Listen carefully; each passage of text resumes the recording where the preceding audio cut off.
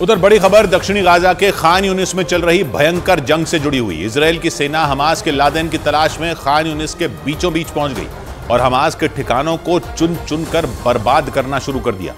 Israel की सेना ने एक दिन पहले ही बयान दिया था कि उसने खान यूनिस को चारों तरफ़ से घेर लिया है और रात भर में उसकी सेना खान यूनिस के बीचों बीच पहुँच गई। इसराइल की सेना ने जानकारी दी कि उसने खान यूनिस में एक स्कूल और उसके आसपास की कई इमारतों को निशाना बनाया और वहाँ से उसे हमास के हथियारों का भंडार मिला।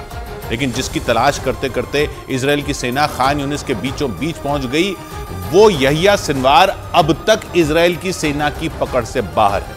क्योंकि इसराइल की सेना को शक है कि वो ज़मीन के नीचे छिपा बैठा है। इसलिए इसराइल की सेना यहिया सिनवार को ज़मीन के ऊपर और नीचे दोनों जगह खोज रही है। और खान यूनिस में चल रहे अपने मिलिट्री ऑपरेशन की तस्वीरें जारी कर रही है। इसराइल की सेना ने खान यूनिस के बीचों बीच पहुँचने का वीडियो भी जारी किया, जिसमें हथियारों से लैस इसराइल के सैनिक एक इमारत की ओर बढ़ते दिखे। इसराइल ने जानकारी दी कि उसके सैनिकों के निशाने पर खान यूनिस में हमास की अल कसाम ब्रिगेड की पोस्ट थी, जिसे उन्होंने घेर लिया और एक घर में घुसकर बिना रुके इतनी गोलियाँ दागी कि गिनना मुश्किल हो जाए। इसराइल की सेना ने इस घर से ही हमास को टारगेट किया। खिड़की पर बंदूक ताने खड़े एक सैनिक ने तो पहले हमास को ललकारा और फिर गोली चला दी। हमास के लादेन, यानी यहिया सिनवार को ढूंढ रही इसराइल की सेना ने एक दिन पहले खान यूनिस को चारों तरफ़ से घेर लिया था और फिर वहाँ आसमान से हमला किया था। लेकिन कुछ ही घंटों बाद खबरें आने लगी कि इसराइल खान यूनिस में हमास के ठिकानों की तरफ़ बढ़ रहा है। क्योंकि 7 अक्टूबर के हमले का मास्टरमाइंड माना जा रहा यहिया सिनवार अब तक उसकी पकड़ से बाहर है। और इसीलिए सिनवार की तलाश में इसराइल के टैंक और बख्तरबंद गाड़ियाँ दक्षिणी गाजा के खान यूनिस इलाके के बीचों बीच पहुँच गए। इसराइल की सेना ने जो वीडियो जारी किया, उसमें ऊबड़ खाबड़ इलाकों से गुजरते हुए ये टैंक खंडहर में बदल चुके खान यूनिस शहर के सेंटर में पहुँच गए। इन बख्तरबंद गाड़ियों और टैंकों के साथ इसराइल के सैनिक भी दौड़ते हुए खान यूनिस में घुसते नज़र आए। हाथों में बंदूकें लेकर हमास के गढ़ में दौड़ते इसराइल के सैनिक बीच बीच में गोलियाँ चलाते भी दिखे। उन्हें जैसे ही शक होता कि कुछ गड़बड़ है, वो फायरिंग कर देते।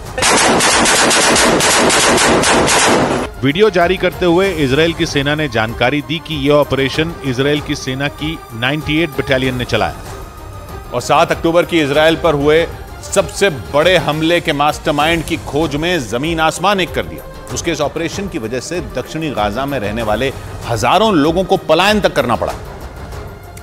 क्योंकि दक्षिणी गाजा के खान यूनिस में जमीनी जंग छिड़ चुकी है। इसराइल की सेना ने जो वीडियो जारी किया, वो उसी का छोटा सा ट्रेलर था।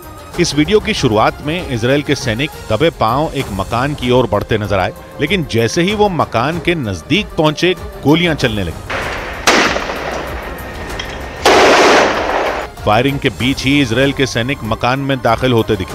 हालाँकि इस दौरान ये सैनिक चौकन्ने रहे, क्योंकि उन्हें शक था कि हमास के लड़ाके वहाँ छिपे हैं। इसीलिए वो मकान में घुसते ही उन्हें हथियार डालने की चेतावनी देते सुनाई दी हमास के कमांडरों की खोज में ये सैनिक मकान का चप्पा चप्पा छानते दिखे। उन्होंने पहले हर कमरे को खंगाला और फिर मकान की छत पर भी पहुँच गए, क्योंकि सिनवार को खोजते खोजते इसराइल की सेना खान यूनिस के बीच में पहुँच चुकी है और वो वहाँ का कोई कोना नहीं छोड़ना चाहती। क्योंकि उसे विश्वास है कि यहिया सिनवार खान यूनिस के किसी कोने या वहाँ बनी किसी सुरंग में छिपकर बैठा और उसे ढूँढने में वक्त और ताकत दोनों लगाने हों। इसलिए उसने खान यूनिस में हमास के ठिकानों को निशाना बनाया और इस दौरान उसने खान यूनिस के एक स्कूल पर भी हमला किया। और वहाँ का ऐसा वीडियो जारी किया जिसे देखकर लगा कि पूरा का पूरा खान यूनिस हथियारों के ढेर पर बैठा है। क्योंकि वीडियो में इसराइल के सैनिक एक के बाद एक कई मिसाइलें कंधे पर उठाकर बाहर लाते दिखे। ये सिलसिला यही नहीं थमा। मिसाइलों के ठीक बगल में ज़मीन पर ग्रेनेड रखे दिखे। वो भी इक्का दुक्का नहीं बल्कि ज़मीन पर ग्रेनेड का अंबार रखा नज़र आया। इसराइल की सेना का ये कहना है कि हथियारों का एक खजाना खान यूनुस के एक स्कूल में रखा था। और उसे इसराइल के सैनिकों ने हमले के बाद कब्जे में ले लिया।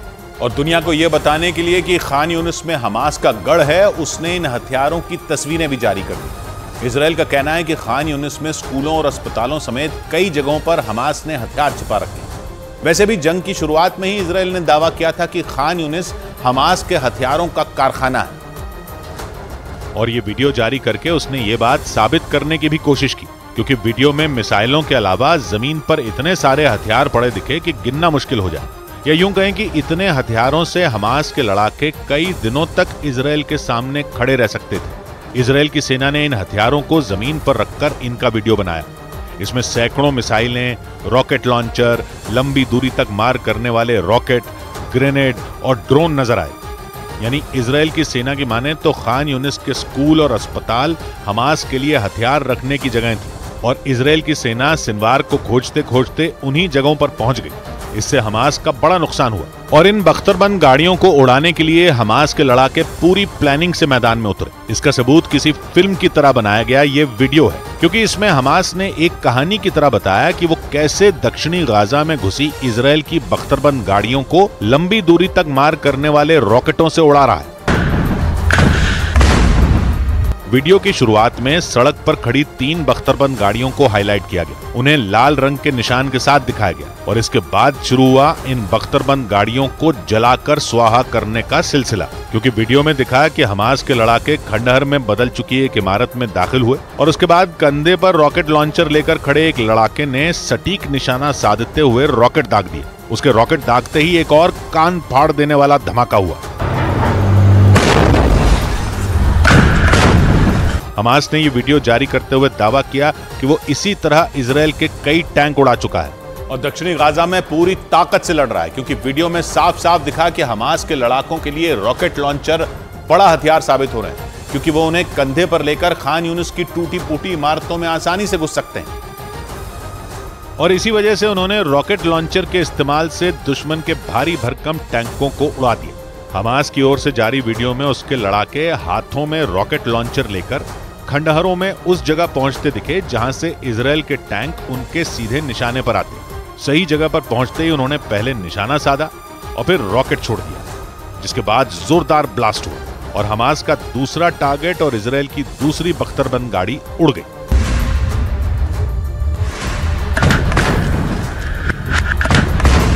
धमाका होने के बाद बख्तरबंद गाड़ी की जगह आग की लपटें नज़र आईं। और हमास के लड़ाके अल्लाह अकबर बोलकर जश्न मनाते दिखे। इसराइल का तर्क है कि दक्षिणी गाजा उत्तरी गाजा से ज़्यादा खतरनाक है क्योंकि वहाँ हमास के कमांडर और हथियार दोनों हैं और उन्हें खत्म करने के लिए उसे पूरी ताकत झोंकनी होगी। क्योंकि एक दिन पहले ही पीआईजे यानी पैलेस्टीनियन इस्लामिक जिहाद ने भी वीडियो जारी करके दावा किया था कि वो दक्षिणी गाजा में हमास के साथ मिलकर लड़ रहा है। और इसका मतलब यह कि इसराइल की चुनौती अब दुगनी हो चुकी है। और अगले ही दिन हमास ने भी इसराइल की सेना से दो दो हाथ करने का वीडियो जारी कर दिया। इस वीडियो के ज़रिए हमास ने अपनी ताकत का ढोल पीटने का कोई मौका नहीं जाने दिया, क्योंकि वीडियो के हर फ्रेम को देखकर लगा कि हमास के लड़ाके इसराइल को पूरी टक्कर दे रहे हैं। उन्होंने पहले इमारत के अंदर से हमला किया और फिर सड़क पर आकर रॉकेट दाग दिए। यही नहीं, जैसे ही इसराइल की सेना की गाड़ी उड़ी और आग की लपटें उठने लगी हमास के एक लड़ाके ने उसे दिखाते हुए तस्वीर भी खिंचवा ली। हमास ने इस वीडियो के ज़रिए माहौल बनाते हुए ये दिखाने की कोशिश की कि उसके लड़ाके इसराइल से नहीं डरते। वीडियो के एक हिस्से में तो हमास का एक लड़ाका रॉकेट लॉन्चर लेकर खंडहर में ऐसी जगह ढूंढता दिखा, जहाँ से वो इसराइल पर अटैक कर सके, और जब उसे वो जगह मिल गई तो वो वहाँ बैठ गया और फिर वहाँ से अटैक कर दिया। हमास ने यह वीडियो जारी करते हुए दावा किया कि उसने इसराइल की कई बख्तरबंद गाड़ियों को इसी तरह खत्म किया। यानी पीआईजे मतलब पैलेस्टीनियन इस्लामिक जिहाद के बाद हमास ने भी एक वीडियो के ज़रिए प्रोपागेंडा किया।